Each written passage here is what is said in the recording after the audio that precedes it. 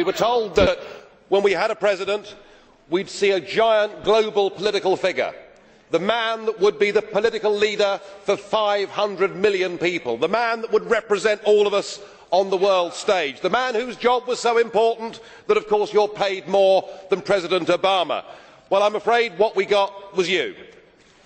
And I am sorry, but after that performance earlier that you gave, and I do not want to be rude, but but you know really you have the charisma of a damp rag and the appearance of a low grade bank clerk and the question that i want to ask the question that i want to ask that we're all going to ask is who are you?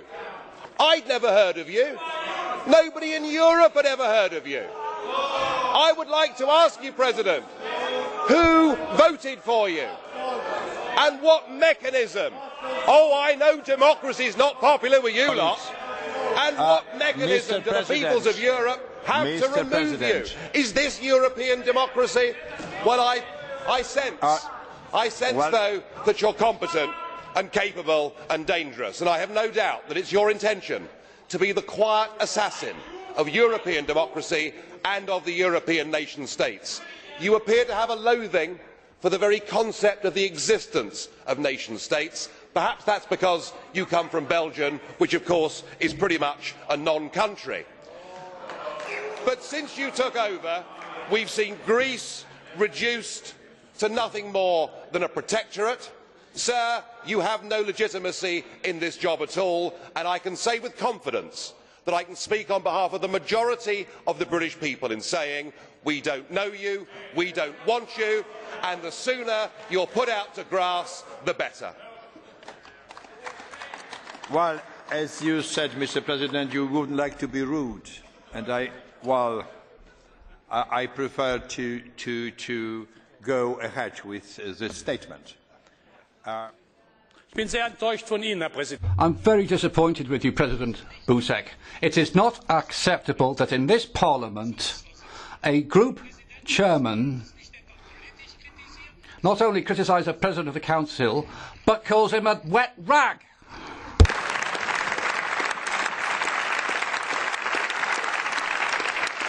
Ich erwarte, And I expect you, President, to call this person to order.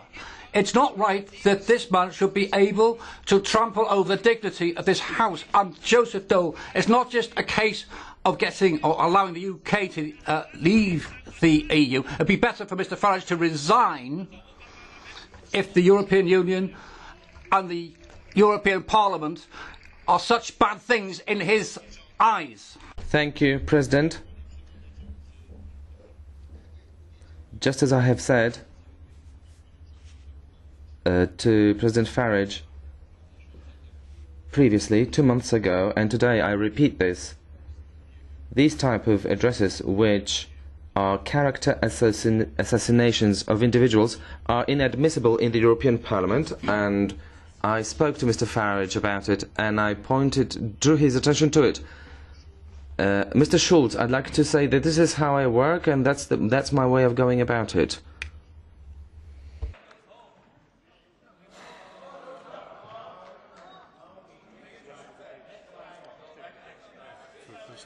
For a personal statement, President, it Is it personal statement? at the end of the debate. At the end of the debate. Bardzo proszę. The floor is yours. You may not like what I say, but just consider your behaviour. You, after the Irish people in a referendum voted no, said that our group had opened, by supporting the no vote, that we'd opened the door to fascism. You said that we had behaved as a group in the Parliament like Hitler and the Nazis in the Reichstag. We've been called by Danny Cohn-Bendit mentally weak. You know, you know, it has to be, it can't be one way. It is way. not can it? personal statement. Mr. Mr. President Farage, it is not personal statement.